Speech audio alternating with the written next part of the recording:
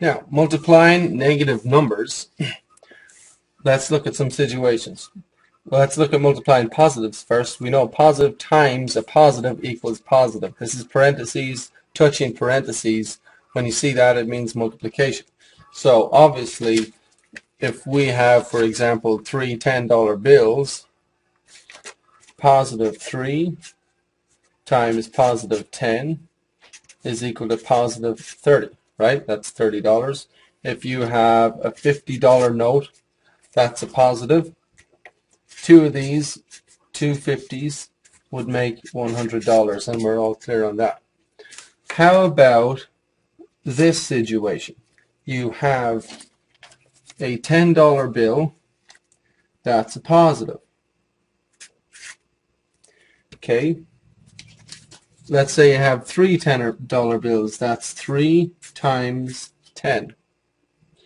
Now, that's $30. Now, let's say we subtract three $10 bills. What would that look like?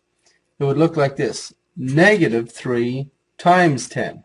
Subtraction and negative are the same thing theoretically. So to subtract three $10 bills is just like doing this. Negative 3 multiplied by positive 10.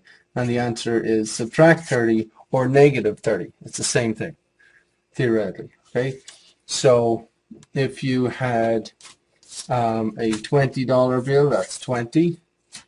If you had two of these, that's $40. If you subtract two $20 bills, that's like subtracting $40. And theoretically, what we have is a negative 2 times a positive 20 is a negative 40. So here's um, two paychecks of $1,500 each. If they are canceled, cancel two paychecks, that's like a negative 2 times a positive 1500 and that's subtract $3,000. Okay, so negative times positive is negative and we're all usually okay with that. How about this one? Positive times negative gives a negative, and why is that? Well, you could have a parking ticket for $60. That's a negative. That's a real negative thing. A parking ticket for $60. Okay, so let's write that down. That's our negative 60. Okay. Now, if you had two of these, you could write this. 2 times negative 60. Two parking tickets of $60 each. What's that the same as? That's like having negative $120, isn't it? It's being in debt by 120. You could have a rent bill for $400. Okay. What would three rent bills of $400 be equal to? So negative 400 is your rent bill of $400. It's a, it's a real thing that you can hold in your hand, and three of them would be the equivalent of negative $1,200, right? A DSL bill for uh, $20. Four of these DSL bills added up together would be negative 80, and we're all clear on that, right? Positive times negative is negative. Now, the one we've all been waiting for, a negative times a negative is actually equal to positive. So we can remember that, but we in this class we need to understand why that is. Let's go back to our parking ticket of $60. Here's two parking tickets of $60. Two negative 60s. That's definitely negative 120. What happens though if I cancel two parking tickets. So there's two parking tickets of negative 60. If I cancel those, that negative there means take away. Take away two parking tickets of $60 each. Well, wouldn't you be happy about that? How happy would you be? Would you be about $120 happy? That makes sense, doesn't it? If you take away two parking tickets of 60 each, it's like giving 120. It's a positive 120. Here's our DSL bill of $20. Here's um, four DSL bills of $20. Okay, now we've got four bills. That doesn't make us happy. We've got negative $80. But if we cancel four DSL bills, take away four DSL bills, how happy are we now? The only way you can take away bills is by giving money. It's the same thing, isn't it? It's like giving $80. So negative 4 times negative 20 is positive 80.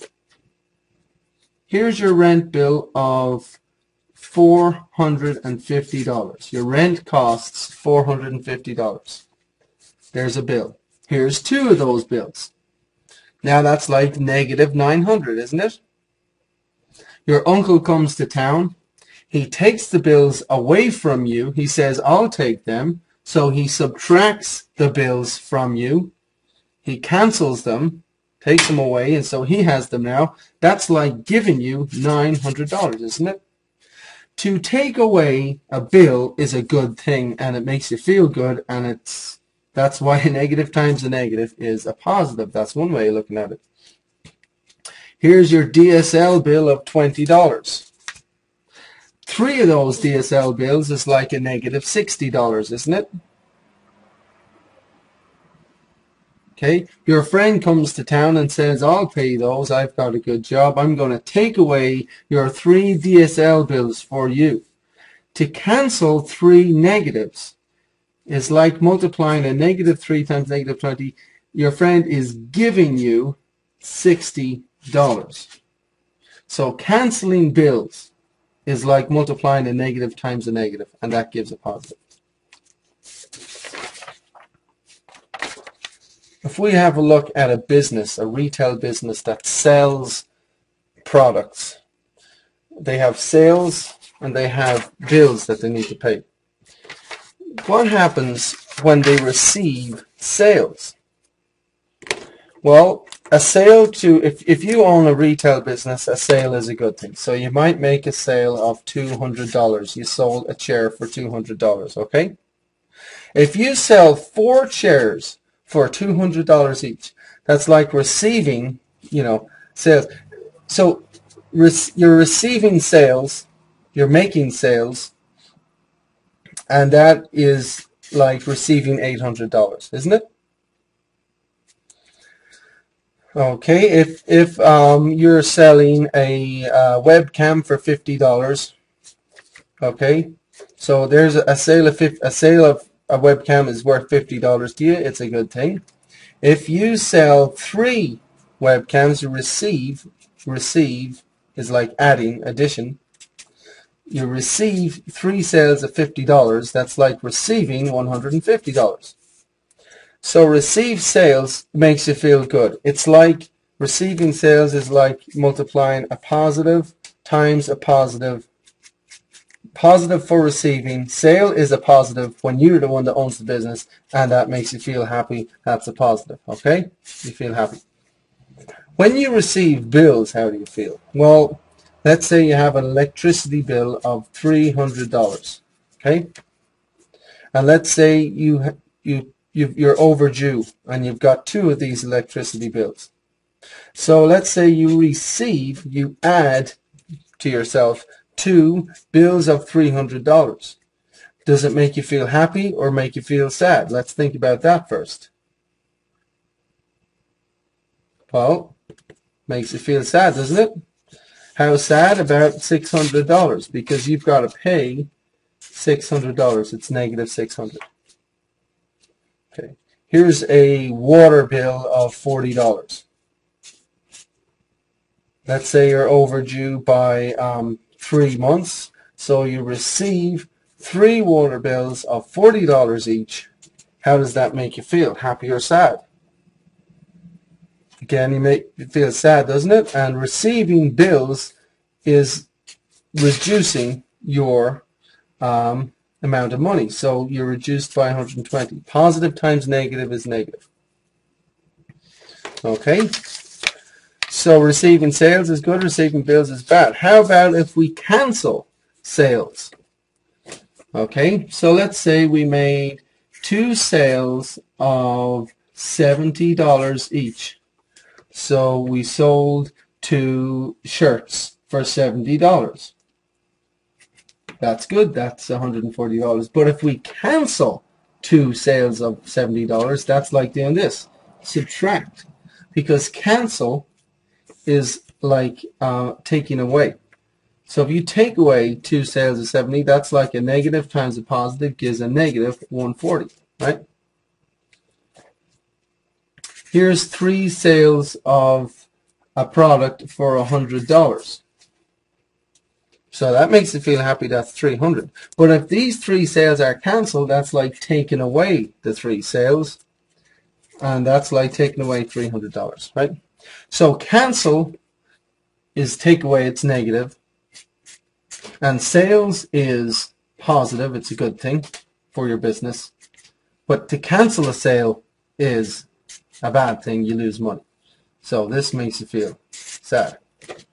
By the way, receive bills, to receive is like adding and a bill is a negative. So adding negatives is negative, makes you feel sad, right? Cancelled bills, how about that? Okay, here's a, um, a bank um, bill of uh, $50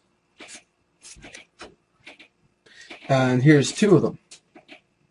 Two bills of $50 and that's like negative negative 100 and that's not a good thing. But if you cancel two of these bills to the bank oh that's good. We got two bills canceled so we actually received a $100 it's the same thing isn't it? Okay. Um, let's see. Okay here's um, your uh, monthly uh, loan of uh, $300. Okay, that's your monthly loan that you have to pay back. And let's say five months of the loan was cancelled because it was an error or because somebody else paid it. But if you cancel five of these monthly loan monthly checks, cancel five five debts of 300, that's like giving 1500, isn't it? So when you've got a business and you cancel something, it's like taking it away, and a bill is a negative. When you take away a negative, that's like giving you money, and it makes you feel happy, right?